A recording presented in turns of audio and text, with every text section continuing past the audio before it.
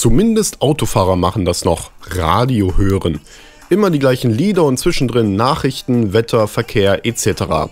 Man kann es doch auf ganz klassische Art und Weise machen, wie ich hier mit einem RFT RC86 aus der DDR.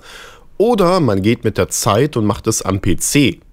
Etwa mit diesem 2005 erschienenen Personal USB Radio von Ava Media, welches ich im unbenutzten Zustand vom Nutzer Peacemaker zockt bekommen habe. Vielen lieben Dank nochmal an dieser Stelle. Für knapp 20 Euro bekam man damit die Möglichkeit, an einem Windows-Rechner UKW-Radio zu hören und Radiomitschnitte anzufertigen. In der Verpackung gibt es zunächst einen leicht dicken USB-Stick, der wie ein Speichermedium wirkt.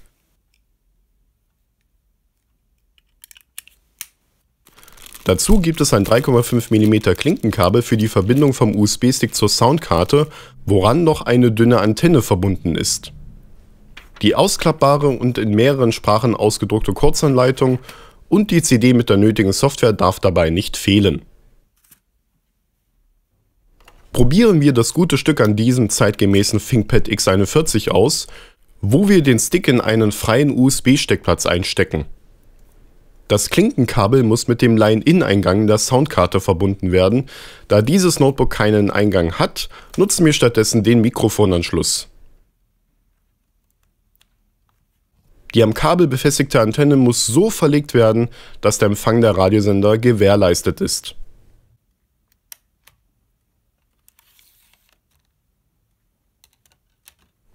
fehlt nur noch die Software von der CD.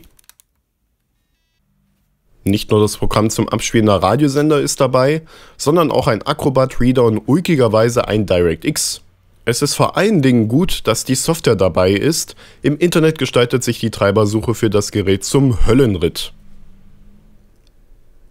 Beim ersten Start der simplen Anwendung USB-Radio werden zunächst Sender gesucht. Das ist insofern löblich, da wir dann vorgefertigte Programmplätze erhalten. Da das Programm den ganzen UKW-Frequenzraum von 108 bis 87,5 MHz durchsucht, kann das eine Weile dauern. Irgendwann gibt es viele Programmplätze, wo die Software meint, ein Radioprogramm empfangen zu haben. Manchmal ist da wirklich was, manchmal aber auch nicht. Zumindest können wir die einzelnen Programmplätze nun benennen und an der Frequenz noch Feinjustierungen vornehmen. Da man auch aufnehmen kann, gibt es auch dafür Einstellungen. Codec, Attribute und Speicherort. Das Wichtigste ist immer noch das Empfangen von Audiosignalen, das nehmen wir hier vor. Wenn alles geklappt hat, belohnt man uns mit Tönen.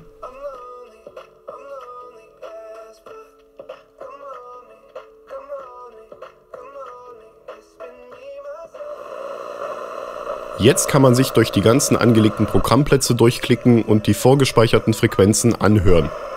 Je nachdem wie gut der Empfang sein wird, entweder in Mono- oder Stereo-Qualität.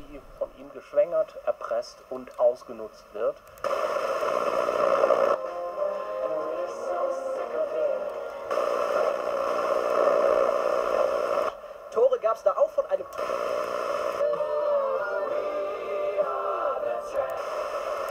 iPhone rauskam, sind die Menschen besessen von den Maschinen.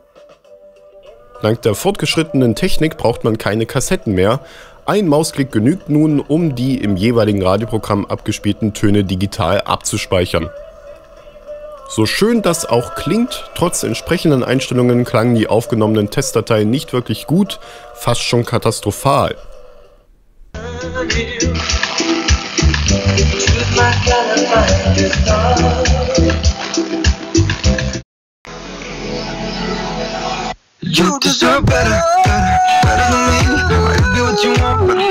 Spannend ist, der uns überrascht, jemanden, den ich gut finde und von dem ich hoffe, dass ich ihn nach dem Treffen noch besser finde. 1 Live. Gute Leute in eurer Podcast.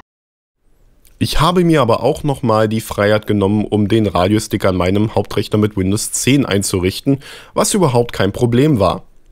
Alles lief ähnlich ab wie unter Windows XP nur wurde fürs Live-Radio kein Gerät erkannt, da musste man manuell nachhelfen. Schießen, legt den Ball aber flach nach innen. Zwei Dortmunder gestanden auf links, aber mittig abgefangen. Noch ist das große SPD-Schaulaufen nicht zu Ende und damit zurück ins Funkhaus. Doch gerade da gelang die Aufnahme eher.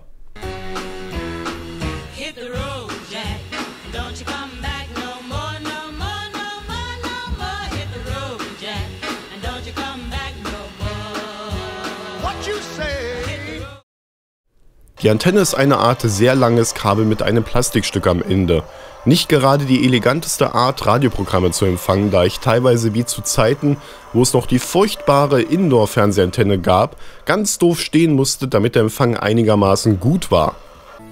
Teilweise machte sich das Audio selbstständig. Mit einem klassischen Radio habe ich zumindest in meinen Räumlichkeiten einen etwas besseren Empfang, aber das kann von Standort zu Standort variieren.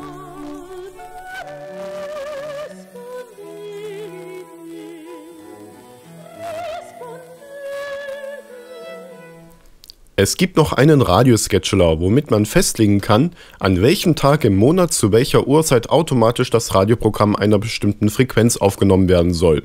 Vielleicht um die super duper 90er Partyshow aufzunehmen, die an jedem 15. eines Monats um 23 Uhr läuft, wer weiß. Weiterhin gibt es noch das ominöse Programm Quick USB Radio, das ist aber keine Light-Version von USB-Radio, es ist eine Art Quick Launch für beide Programme, der automatisch mit Windows starten will.